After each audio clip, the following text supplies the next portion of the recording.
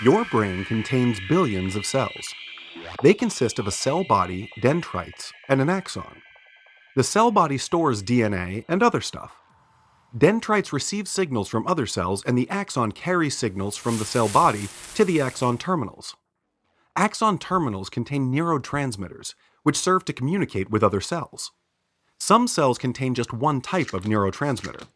Serotonin cells only produce and release serotonin. Serotonin cells release their serotonin into the synapse. This is the gap between their axon terminals and the dendrites of another cell. Serotonin is involved with the regulation of your mood, heart rate, sleep, and appetite.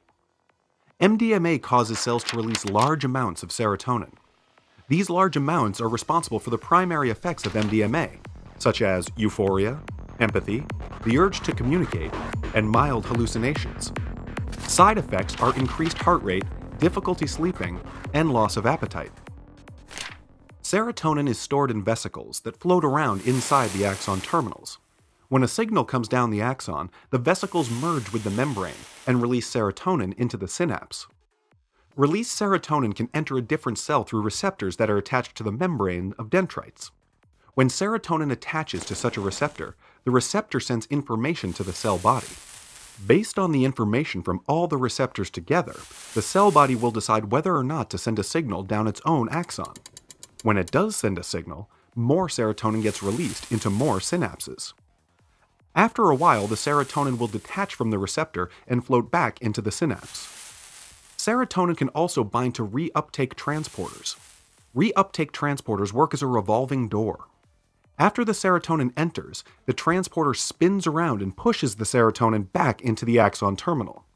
Some serotonin makes its way back into the vesicles, but some of it gets broken down by an enzyme called monoamine oxidase.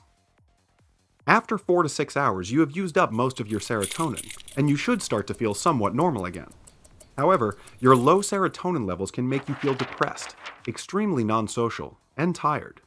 Your brain needs time to rebuild your serotonin levels, this could take up to two weeks.